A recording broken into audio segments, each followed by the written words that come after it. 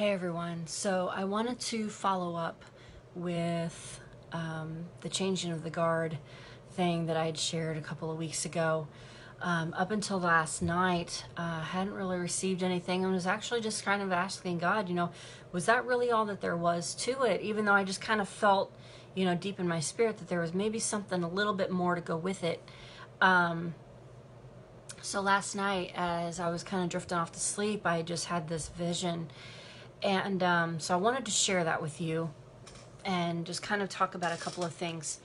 Um, what the vision was, um, it was real similar to that of a wedding, um, but military style, if that makes any sense. Um, it was like, you know, these doors just like, these doors just wide open, you know, they just opened up wide. And instead of like a f- little flower girl, like coming in and dropping petals everywhere, it was, you know, this um, militant type march, but they were just these huge um, angelic type soldiers. And they kind of came in and then they just lined the the aisle the aisleway you know? And and they just kind of like they all just like stopped and like turned and looked toward the door. And then all of a sudden coming out were just like ordinary ordinary um, people. I mean no um, you know no uh, suits of armor or anything like that. It was just these these people. And and a lot of them were um, walking very confidently, um, not in an arrogant way, just very confident in where they were at, walking forward. Um, and then others were a little bit hesitant, but still, you know, knowing that this is where they're supposed to be.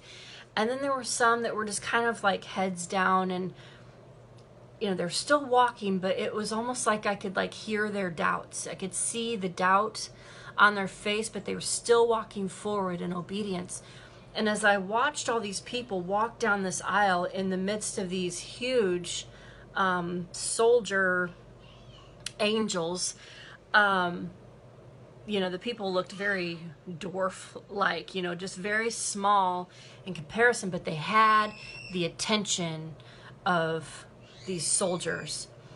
And so what I felt was being said up to at, at that moment was the changing of the guard is these people, us, the church, we are coming in and we have heaven's attention.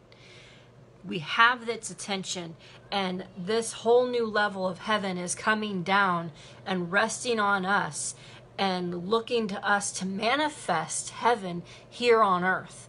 That's what I felt. And I just heard those words just kind of booming through my spirit. And then as I kept looking, at these people walking, all of a sudden I saw at their feet what I call like glory fire.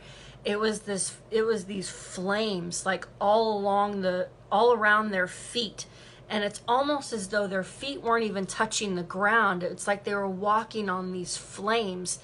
Um, but the flames weren't from anything else other than this glory. They were walking in glory.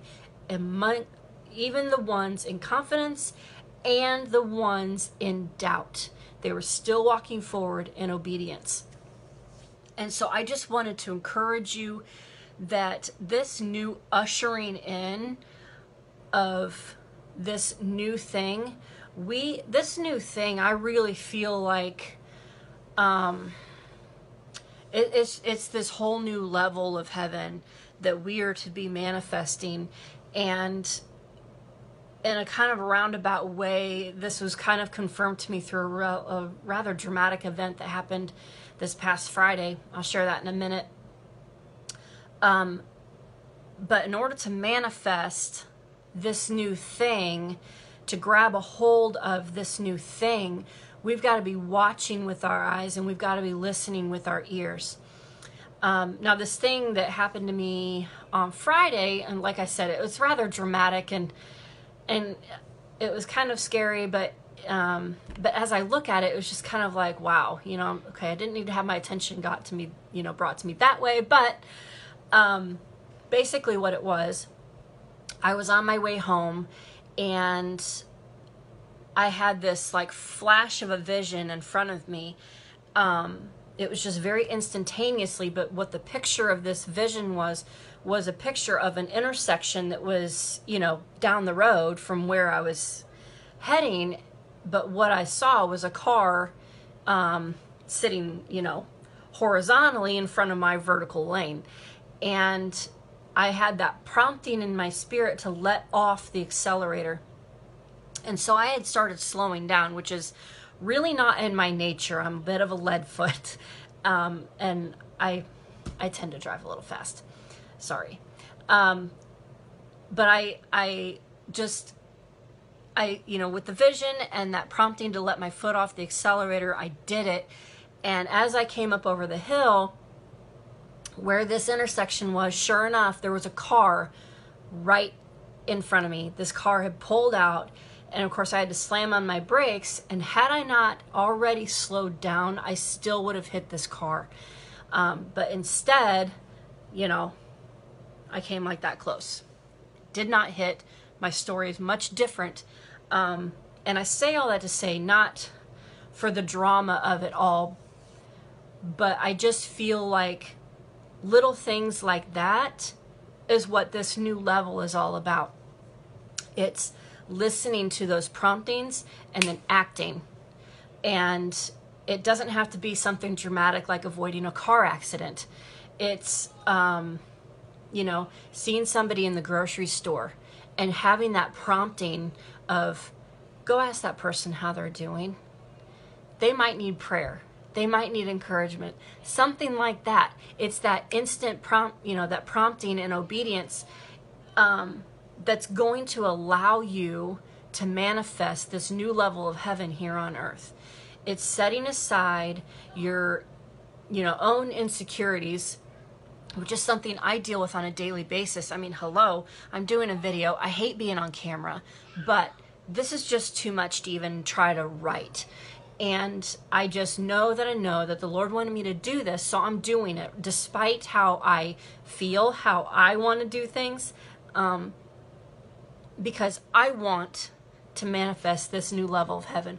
I want my eyes open, I want my ears open, I want more, and I want more for you. So I want to leave it with this. I want to just tell you that some things that I heard last night as I was drifting off to sleep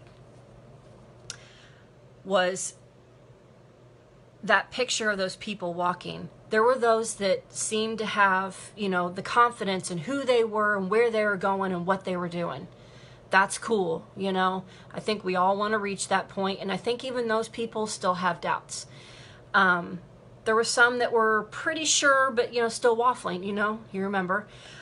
And then the ones with the doubts. And the ones with the doubts are what stood out to me the most is they were still walking on that glory fire. They were still carrying the glory. They were still ushering in, walking in in this new thing despite their doubts. And that's what God wants to say.